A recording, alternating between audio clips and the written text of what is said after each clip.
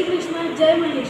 तो आज मैं बनाने जा रहा हूँ चॉकलेट पेस्ट्री जिसके लिए हमें चाहिए ओरियो पाउडर दूध ब्रेड चीनी और गार्निशिंग के लिए चाहिए आलमंड ओरियो क्रीम बनाना और एक चोको फिल्ड बिस्किट तो हम पहले शुरुआत करते हैं इसमें दूध डालते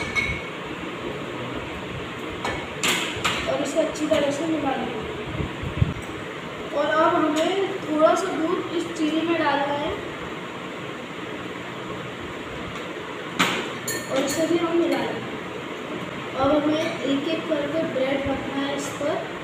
इसके ऊपर डालना है चीनी वाला दूध।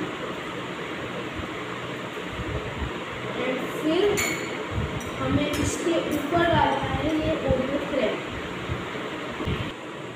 तो मैंने पूरे के पूरे यहाँ पर लगा दिया है पेस्ट्री पर तो अब हम इसे गार्निश करेंगे। सबसे पहले हम यहाँ पर एक बिस्किट एक बिस्किट इसके ऊपर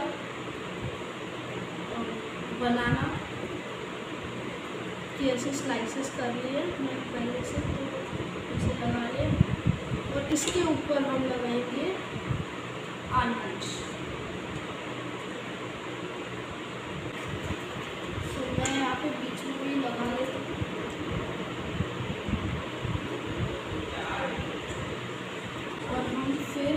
साइड में क्रेम सो गाइस हमारी पेस्ट्री हो चुका है रेडी टू सर्व